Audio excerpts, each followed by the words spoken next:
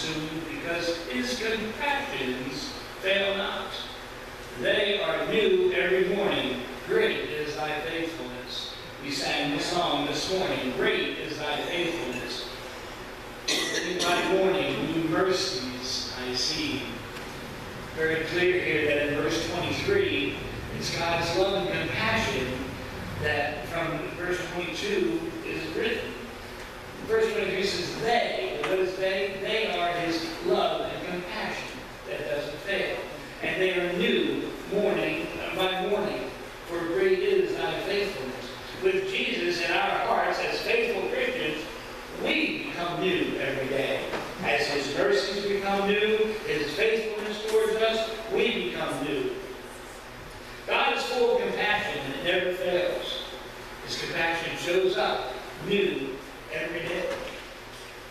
Jump back to our study there in 1 Thessalonians chapter 3, our main text. We'll see here in verse 12, Paul writes, he says, And the Lord make you to increase and abound in love. The Lord make you. We know that God is the only one that can make us do anything and establish that no one can make us do anything, but God can. And his prayer there is that, Lord, I want you to make them to increase and abound in love. His mercy and love and compassion never fails. Now, I don't know what your situation is this morning. I don't know what kind of circumstances you're under this morning. Perhaps you're under some pressure that's a little over and above the norm. Perhaps you're being mistreated. Perhaps you're being mishandled. Perhaps you're being misrepresented. All these things run against us, and yet we're supposed to have compassion of the heart. This is why Paul prayed as he did. He knew then, as we know now, that we need an increase in compassion because the world is putting on us. We're up against it. Praise the Lord that we have a compassionate God. He's the Jehovah driver and Jireh that gives for all of our needs. And in this case, he gives us our needs of compassion and all that we need to help others. I love the poem that was read this morning where God is asking, what have you done to help someone lately? You're asking me to help this person. What have you done? I ask you this morning, what have you done with your love and compassion that God has given you? Look again at verse 12. He says, Lord, make you to increase and abound in love for one another. To love one another, sometimes you know God makes you do that. Sometimes you really aren't pleased with Brother Ken. You just don't feel the love right now. And when you're feeling that, no, I might be feeling the same way about you. My point being is that the best love, of course, is that agape love, that unconditional love that says the love is love for the sake of love and nothing in return.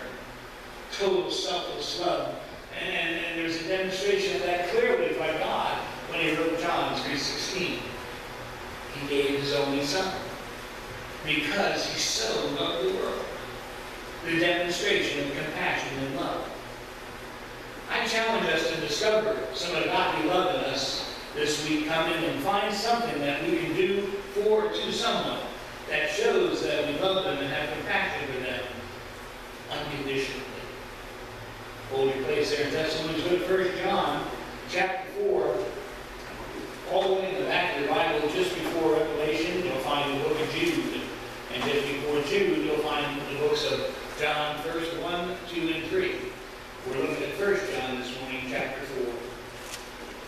4. 1 John chapter 4, he holds us to task here, beginning in verse 4. He said, In this was manifested the love of God toward us, because that God sent his only begotten Son into the world, that we might live through him. Herein is love, not that we loved God, but that he loved us, and sent his Son to be the propitiation, the atoning sacrifice, for our sins. Beloved, if God so loved us, we ought also to love one another. Hey, listen, it's clear here that God demonstrated the love that he had for the world, that he gave his only son to die for you and you and you and me and all our sins, nailed to that cross and hill called Calvary. At a time where the hill was called Golgotha, the hill of the dead. God sent his son, and according to the word here in verse 11, it says that if you love God so much, then you ought to also love one another. God's love is not a noun, it's a verb, it's action words. When God loves you, he's doing something.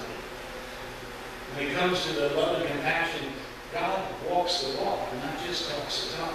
We should be so lucky. We should be so committed to God that we do the same. Love compassion this morning. Love's the action that we take because of other people. And we take it on account of other people. The will of God is for us to take the love that we have for Him, and He wants us to reach out to others with that very same love that we have for Him. First Thessalonians again, well, this time go to chapter 4. Back to First Thessalonians, go to chapter 4. I want you to see this loving of one another. Paul was speaking to the church here. He's also speaking to us. It's so clear. First Thessalonians chapter 4, look at the beginning verse 9. Paul writes, But as touching brotherly love, he needs not that I write unto you, for ye yourselves are taught of God to love one another. And indeed you do it toward all the brethren which are in Macedonia. But we beseech you, brethren, that ye increase more and more, and that ye study to be quiet and to do your own business, and to work with your own hands as we commend you, that we may walk honestly toward them that are without, and that ye may have lack of nothing. The essence of compassion is where the compassion we have for others in the time of need. Paul is writing here to the church that we need to love one another. He says in verse 9, I want to tell you about loving one another, but I really don't need to because God's already told you that's what you need to do. This isn't rocket science. We're to love the brother in the church. We're to love the believer of God. He says in verse 10 that indeed you should go toward that brother and love that brother like you normally do. But you know what? You can do it even more. You can do it even a little bit better than you're doing right now. You may think you got it going on, but God says by the way of his words that he inspired Paul to write, he says in verse 10 that he increased more and more that love for one another. In verse 12, he clearly says, not only that, we need to do it in an honest fashion towards those that are without.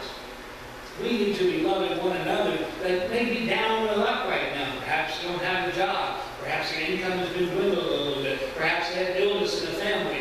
Uh, it's time for us to step and love one another in a fashion where the people that have nothing, and within that brethren, we address them perhaps first in the list of our love and compassion. The essence of compassion is God. Then we see the expression of compassion that is needed. We express compassion by not just loving ourselves, and we do it by loving each other.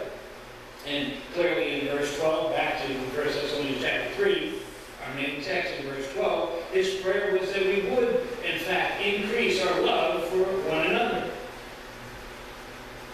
With that hope of agape love, that unconditional love. You know, you turn there to 1 John 4 and 21 says, As this commandment have we from him, him being Jesus, that he who loveth God love his brother also.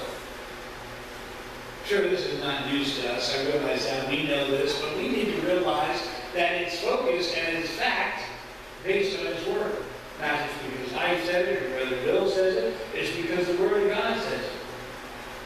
Now, by showing your love for the brethren, love each other, and you will show and tell that you're a Christian. The epitome of what a Christian is.